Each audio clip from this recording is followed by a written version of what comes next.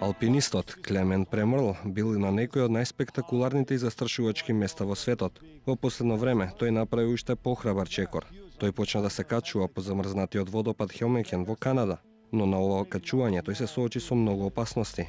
Најмалото движење може да доведе до фатални последици.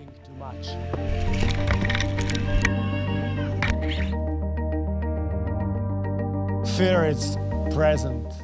Кога помислив на водопадот Хелмекен, се измени се, качувањето помраз е многу тешко. Верувам дека животот почнува кога ќе излезеш од зоната на комфорот. Стравот е секогаш присутен, но во моментот кога го започнувам патувањето, стравот исчезнува.